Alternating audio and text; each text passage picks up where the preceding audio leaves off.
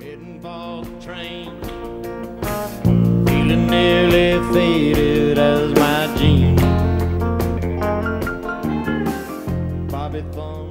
Here's a song that Kris wrote, and I sang it, and I loved it, and I've been singing it so long I've kind of claimed it all for my own, but I would really be honored if you'd sing it with me.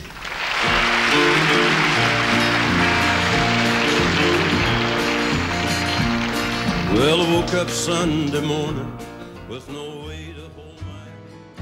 It's a song by a good friend of mine. His name is Kris Kristofferson. And he here to write some nice tunes. This is called Bobby McGee. Freedom is just another word for nothing left to lose. Nothing. And that's all that Bobby left me.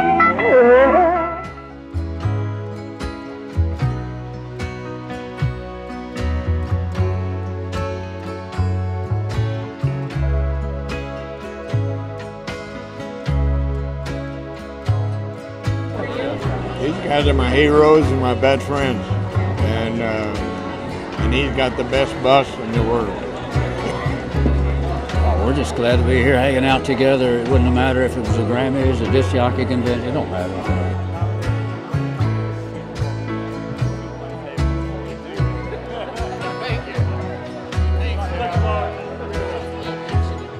I'm real pleased to, to be getting uh, a Songwriters Award, and uh, particularly the Johnny Mercer Award because he's such a, such a great writer, and and there's so many writers up here that I respect.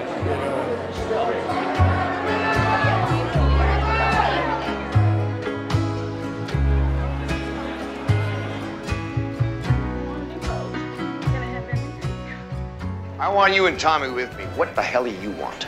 Oh, David, you just don't understand. You could be happy here.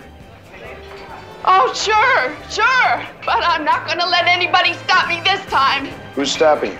Kris was slightly daunted at times. But I had done a lot of things. I've worked on as a laborer in Wake Island, and I'd worked in Alaska on the railroad and firefighting, and four years of college, two years at Oxford, five years in the Army, then four years of working to be accepted as a songwriter, a couple of years flying helicopters out in the Gulf of Mexico, and I'd been a lot of things, and I'd done a lot of things. Lady, don't you leave me now. Gonna make it. Don't look down.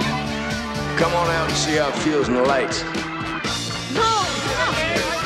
A Star is Born vaulted Kris to Hollywood stardom and won him the Golden Globe Award for uh, from the Foreign Press's Best Actor and a, a major event in your lifetime. What was it like working with uh, Barbra Streisand?